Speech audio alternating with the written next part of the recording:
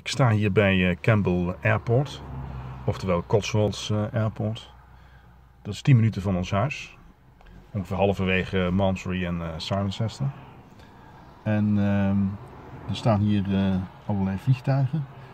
Het is een vliegtuigkerkhof. Verderop staan er zes Boeings 747 van British Airways. Maar hier staat, daar ginds, kun je misschien zien. Ik hou het raam dicht, want er komt veel verkeer langs staat een, een Boeing van de KLM en nog allerlei andere vliegtuigen.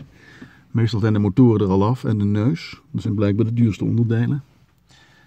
Beetje een raar vliegveld dit. Het is een beetje een rare dag trouwens, hè, want het hele, het, het, eh, de grenzen zitten dicht. Nou, hier staan dan allerlei vliegtuigen. Oh, wacht even, je kunt de staarten zien, de maar dat is heel ver weg. Van uh, de British Airways Boeings.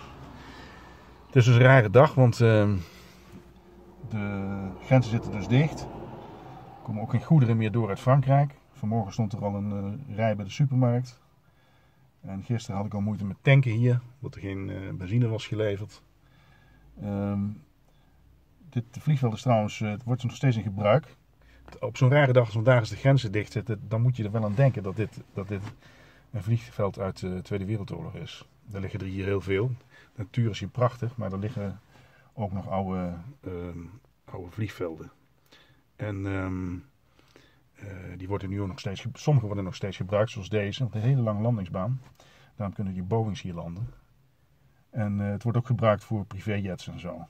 Er, leven heel veel, er, wonen, leven, er wonen heel veel uh, bekende mensen in de Cotswolds, zoals Liz Hurley en ehm, Kate Winslet en ehm, Kate Moss en de Beckhams.